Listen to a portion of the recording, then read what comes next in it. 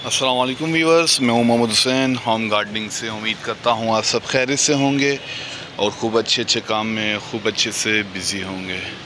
तो फ्रेंड्स आज का हमारा टॉपिक है अंजीर का प्लांट जो कि मैं ऊपर आया और उन्होंने देखा उसके अंदर काफ़ी सारे फल लगे हुए हैं और कुछ फल उसमें पक चुके हैं।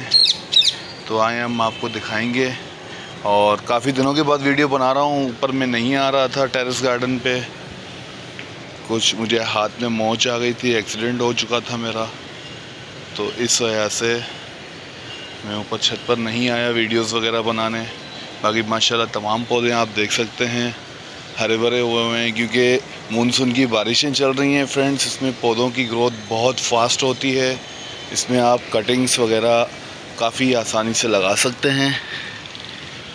और मैंने अभी तक कोई कटिंग्स लगाई नहीं हैं, जो प्रीवियस कटिंग्स लगी हुई थी, तमाम वही चल रही हैं।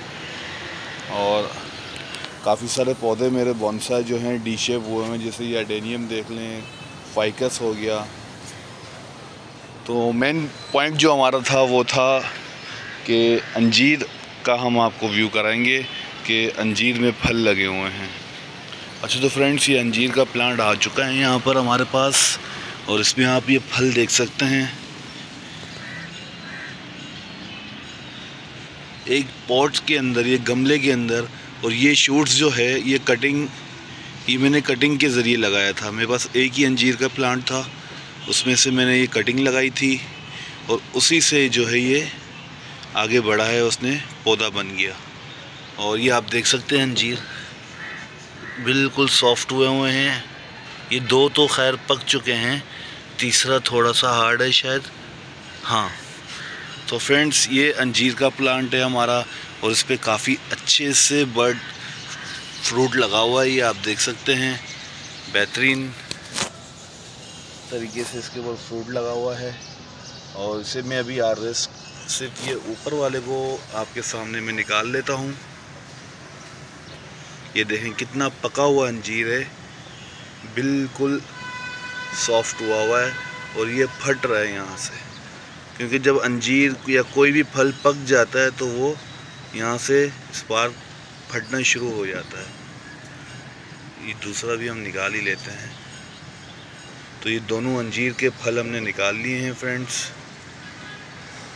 इस पॉट में से तो ऐसे ही मेरी वीडियोस को प्लीज़ लाइक करें शेयर करें सब्सक्राइब करें मेरे यूट्यूब चैनल को, ताकि मैं मेरा जो है अभी थोड़ा सा मन उखड़ गया था केले पौधों से और अभी दोबारा मैं आज विज़िट किया है मैंने। मुझे अच्छा लगा यहाँ आके और काफ़ी ऑक्सीजन और बहुत प्यारी स्मेल आती है मुझे इनसे, पौधों से।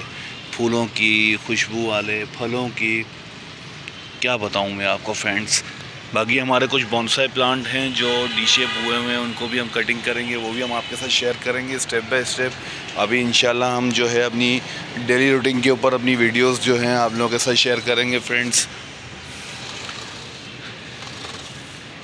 पौधों की केयर के हवाले से फ्रेंड्स मैं इनको अभी कुछ भी नहीं कर रहा क्योंकि रेनिंग सीज़न चल रहा है, मैंने इनको कोई वाटरिंग वगैरह नहीं की, वैसे ही इनको बिल्कुल नेचुरल कुदरती माहौल में मैंने इनको छोड़ा हुआ है।